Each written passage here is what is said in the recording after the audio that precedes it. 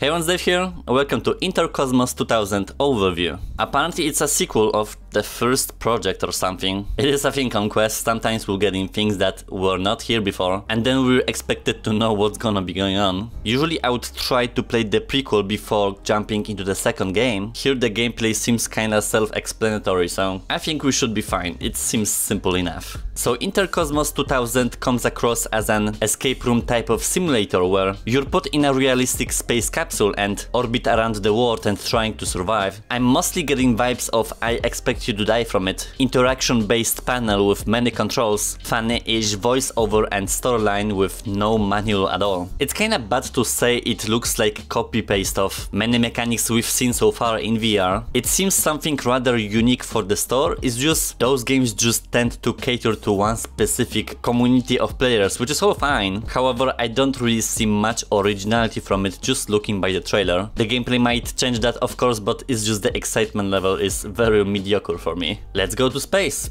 for some reason. oh my god. Why it's so small? Welcome, Cadet. You are now ready to face the final step of becoming an astronaut. What is even going on with the graphics? Like, pixels are literally attacking my eyes. Also, I don't like this helmet. First, you need to get used to those bulky gloves.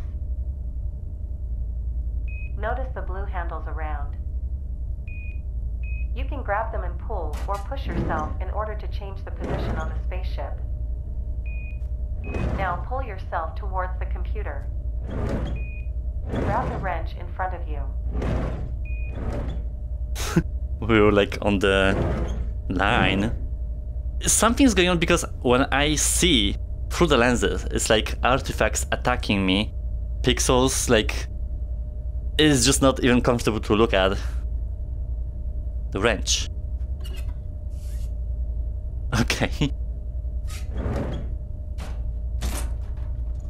Well, grab it.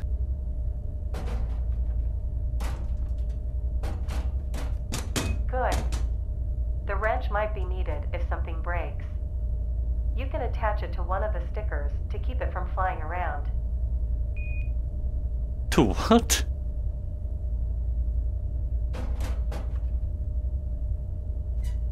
I'm just kinda confused at the direction of the hands.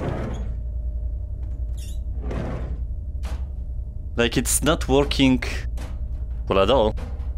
Okay. Stickers.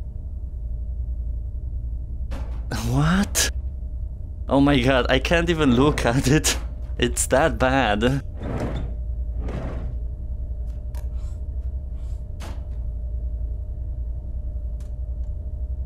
Am I stupid?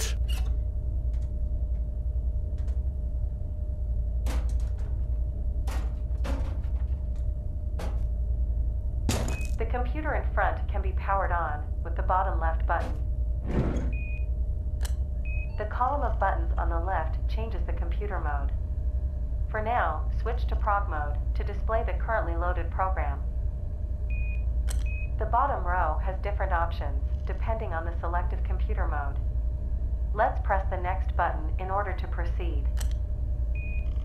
On the left side of the computer, you will find a radio. That's where my voice comes from. Listen to it carefully. Your survival may depend on your correct understanding of orders. If you forgot the last command, push the button on the radio to hear it again. If you forgot the last command, push the button on the radio to hear it again.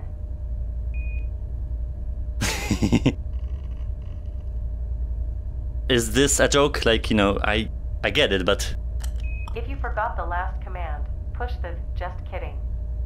That's it. right. Look around. You should see a data pad. Grab it.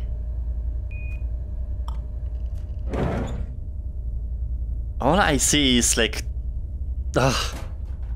My eyes just get tired. what if I actually can grab it? The data pad is a device that should help if you forget what to do. It always displays the checklist for the current procedure. Notice stickers above the screen. stick the datapad to it to keep it from flying around. Free floating objects can be dangerous in space, so keep your ship tidy.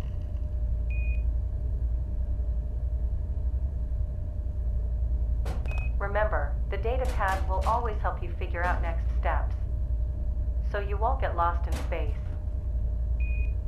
When ready to proceed, hit the next button on the computer.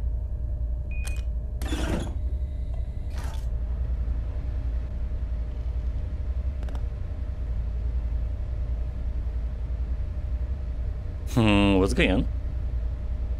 We will train the life support system. As you can imagine, it is crucial. If you don't know how to support life on your capsule, you may cease to live. but don't worry, this is a training scenario. It means everything is simulated. It is not possible for you to die. The alarm panel above your head will warn, and then alarm you if something with the life support or power is wrong. Here is a simulation.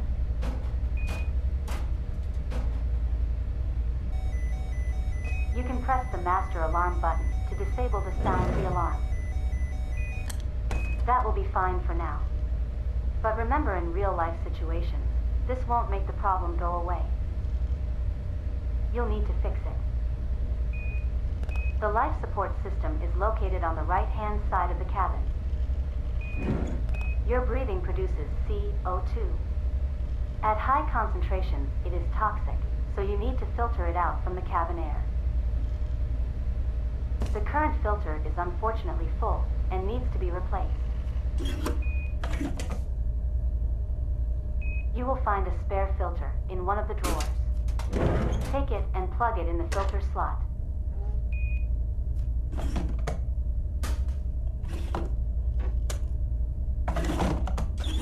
Good job. We will now regenerate the spent filter. Grab it and move to the middle of the cabin. Put the spent filter in the filter regenerator slot. Then pull the red handle next to it.